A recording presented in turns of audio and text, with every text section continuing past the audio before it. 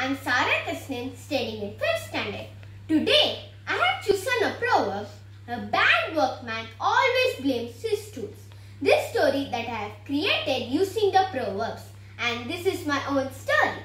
My father has a bullet which he loves very much. And it's his pride and joy. Some time ago, there was a problem with his bullet. So he took it to the mechanic to get it repaired. However, the mechanic tried his best to clear the fault and was not able to. He said end of the day that the tools he was using was not correct.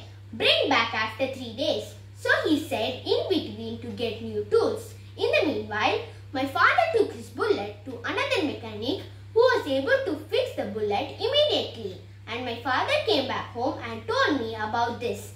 That is how I remember this story. First, the first mechanic do not know how to work with the tools. So he said the tools we were not good. Second, the second mechanic used the same tools and repaired my father's bullet.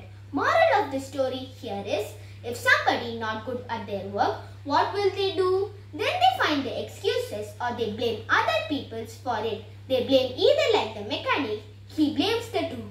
He would have the ability to fix